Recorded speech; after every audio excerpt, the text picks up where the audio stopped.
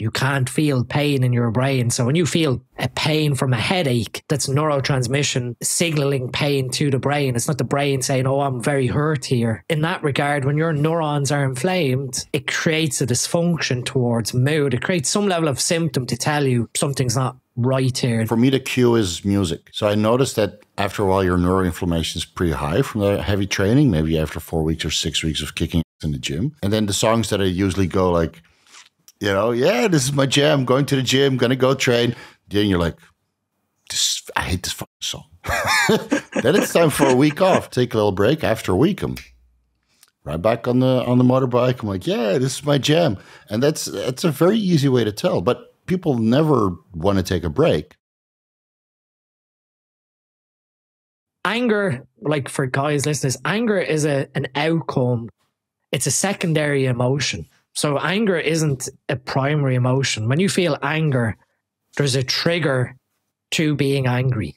And it could mm-hmm. be sadness that makes you feel angry. It could be frustration. It could be confusion. But most guys just say, I'm an angry person. They never say, I'm an angry person because I'm frustrated because I hate my job or I mm-hmm. hate this in my life. They don't actually sit and truthfully speak to themselves and say, well, I am angry because of this secondary emotion and problem. If I fix that problem, you might have still some periods where you're frustrated and become angry, but you can then understand, well, where was the trigger from the anger?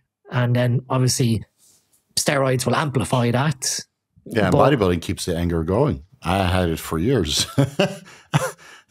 I, I, the bodybuilding fuels the anger, and the anger fuels the bodybuilding. And you got this synergistic, symbiotic, parasitic relationship, and and it fuels on both ends. And it's great for bodybuilding, but it's not good for your mental health. And I think you need to let it go, all of it, for about a year.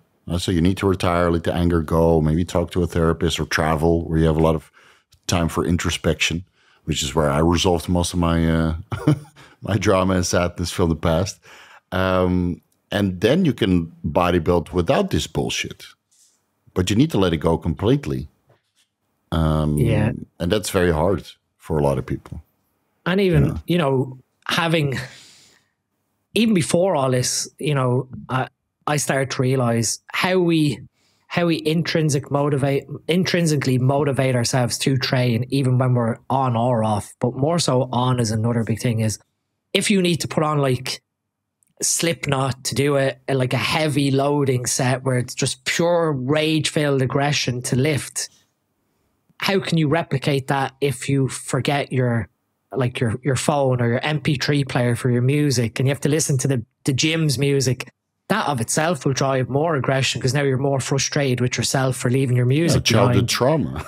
yeah, and now you've now you've that's what now it's there for, bro. You know, you know, you've you've now you've now not got the trigger that allows you to psychologically create strength because a lot of a lot of things we do bodybuilding and strength some of it comes from obviously neuromuscular but it's also psychologically driven of yeah. being able to activate that strength um, and I, I used to observe this all the time. You'd be listening to like, like I said, Slipknot or really intense heavy metal.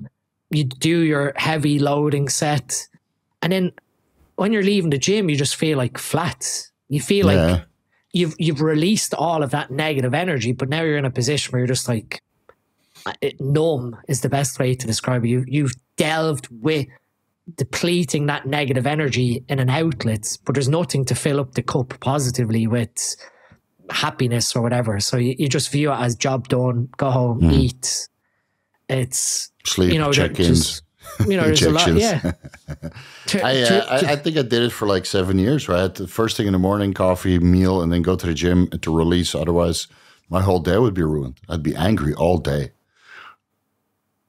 and then and then you go to the gym to kind of numb yourself, and it was like, oh, I'm good now. but it's just positive enforcement, and I really like I learned this after the non-alcoholic fatty liver disease, where I came off everything basically, and I fasted myself into healthiness again. I, I couldn't uh, tap into the craziness anymore, and it made me a, a, a worse bodybuilder overall, but a much happier person and a much more productive person and a much more caring person because I didn't have to go through this phase of like anger management in the morning by literally making myself tired in the gym and releasing everything there.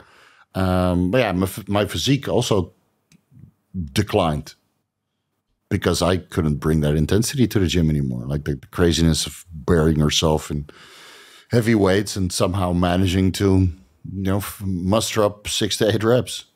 Now I do six to eight reps with a lot less weight because the anger isn't there to fuel it. Yeah.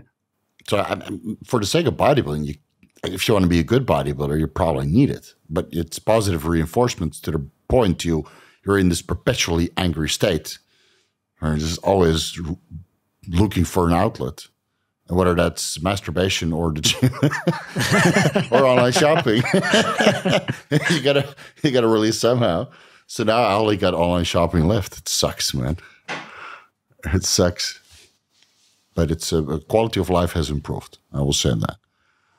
Yeah. I, I think if we're looking at, you know, someone asked about strategies of improving brain health with, with steroid use. Obviously, you've done a, a series with mm. tier lists of supplements and maybe peptides and medications.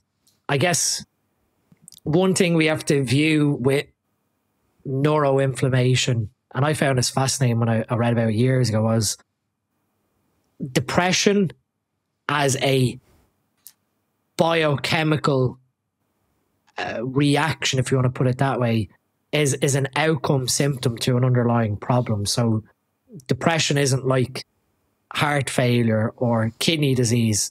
Depression is a symptom to neurological dysfunction.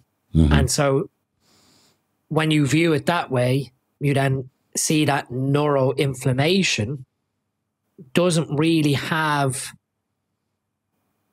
the, the best way to describe it is if anyone has ever watched Hannibal, the second like Silence of the Lamb film. Oh yeah, uh-huh. where he basically eats the guy's brain with his. At the very end of the movie, he removes the guy's skull cap and he's mm. eating the brain and feeding the guy his own brain. Your brain can't feel pain.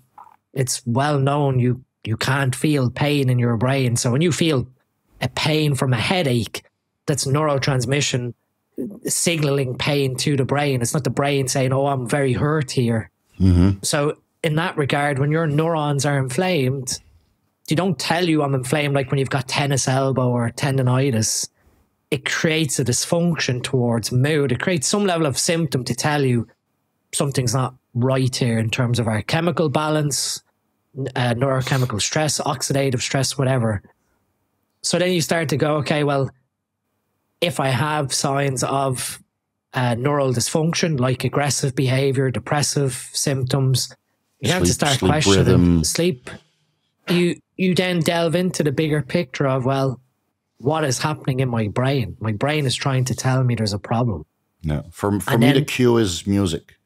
So I noticed that after a while, your neuroinflammation is pretty high from the heavy training. Maybe after four weeks or six weeks of kicking ass in the gym, and then the songs that I usually go like you know, yeah, this is my jam. Going to the gym, gonna go train. Then you're like, this, I hate this fucking song. Then it's time for a week off. And then as soon as you take a week off, you let the neuroinflammation come down, right? You take a little break, you don't eat so much, you let your digestive tract come in, all the inflammation in the muscle goes away, maybe fast a little bit, take a little break. After a week, I'm right back on the on the motorbike. I'm like, yeah, this is my jam. And that's that's a very easy way to tell. But people never want to take a break.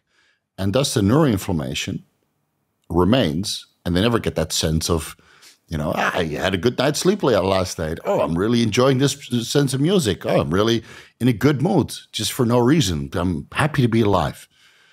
I mean, how many bodybuilders can say that? I'm happy to be. You'll be no, you, you'll be surprised, dude. Many people are just fucked.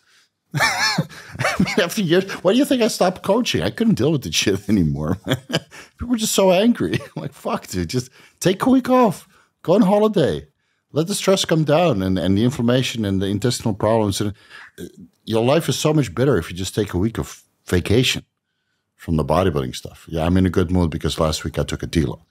So uh, it helps. I think